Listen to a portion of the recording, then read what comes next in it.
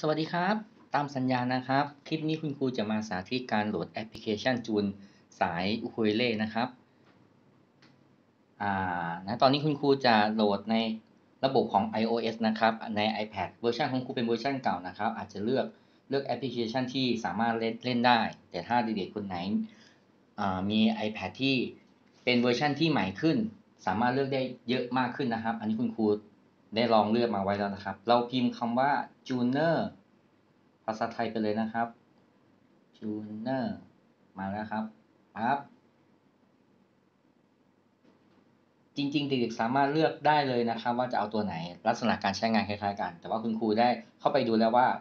เวอร์ชันที่คุณครูใช้อยู่เนี่ยครับ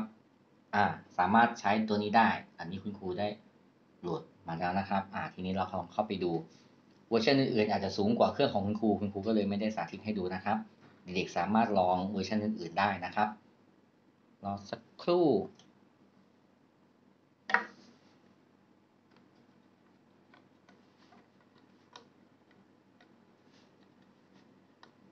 อ่าระหว่างที่รอคุณครูขอปรับสายให้อุคุยเรียกคุณครูมันเพี้ยนซะก่อนนะครับ อ่าเพี้ยนมากๆ เพี้ยนทุกสาย อ่าคราวนี้ เราเข้ามาดูที่ตัวแอปครับผม เราเลือกเป็นอุคุเลเล่ครับอ่าจะมีลูกบิดทั้ง 4 สายของอุคุเลเล่นะครับ แอปนี้จะมีบอกไว้ด้วยนะว่าสายอ่าสายที่เท่าไหร่ลูกบิดไหนเป็นตัวโน้ตเสียงอะไรนะครับ สายที่ 1 เริ่มจากนี้สายที่ 1 เสียง A สายที่ 2 E สายที่ 3 C แล้วก็สายที่ 4 สุดท้าย G นะครับ ทีนี้การจูนสายเราจะเริ่มจากสาย A E C G ก็ได้ หรือจะเริ่มจาก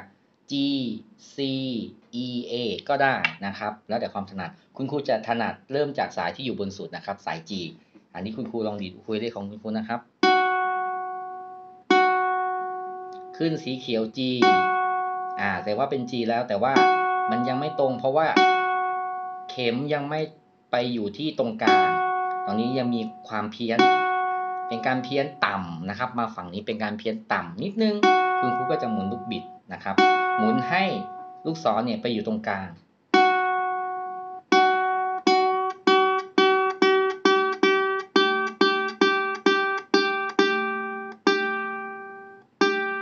เป๊ะ อ่า โอเคครับ G ผ่านไปแล้วหนึ่งสาย อันนี้เด็กๆลองหมุนดูนะครับ ว่าหมุนไปทางไหนเข็มจะไปทางสูงขึ้นหรือทางต่ำลงนะครับ บางทีการใส่สายมาเนี่ยเขาอาจจะใส่กลับด้านอาจจะหมุนไม่เหมือนกันกับของคุณครูนะครับ เด็กๆลองหมุนหาดูว่าเครื่องของเด็กๆเนี่ยหมุนไปทางไหนแล้วเข็มมันไปทางสูงขึ้นหรือต่ำลงนะครับอะต่อไปสายที่สาม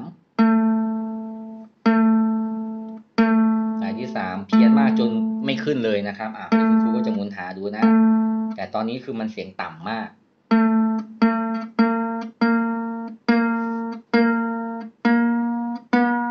อ่า มาเจอแล้วครับตัว C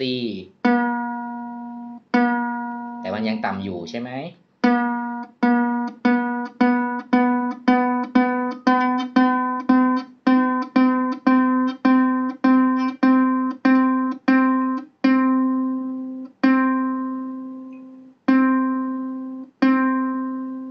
เค เอาให้ใกล้เคียงกับตรงกลางก็ได้นะครับ ไม่ต้องแบบว่าเป๊ะตรงกลางมาก เพราะว่าบางทีมันอาจจะเกิดการแกว่งอ่าสลับกันไปมานิดๆหน่อยๆนะครับคราวนี้คุณครูลองเทสทดสอบดู G กับ C ว่ายังตรงอยู่หรือเปล่า ใช้ได้ครับ C โอเค อ่าต่อไปสายที่ 2 นะครับ E อ่า เป็น E แล้วนะครับ แต่ยังมีความเพี้ยนต่ำอยู่นิดนึง คุณครูก็จะปรับ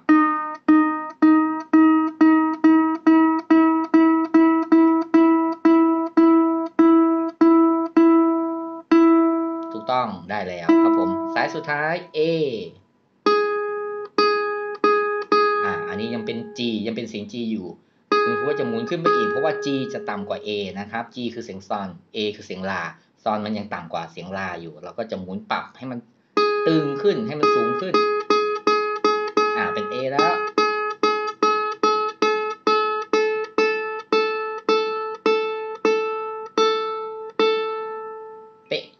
เป๊ะโอเคอันนี้พอได้ครบทั้งสี่สายแล้วเราก็มาทดสอบดูอีกทีหนึ่งว่า มันหย่อนกลับคืนไปหรือเปล่า หรือว่ามันยังตรงอยู่อะมันก็จะนิดนึงนะครับ C พอได้ E ได้อยู่ครับ E A ได้อยู่ครับ อะทีนี้ลงดีดพร้อม ได้ครับ อ่าลองทดสอบเล่นเป็นคอร์ด C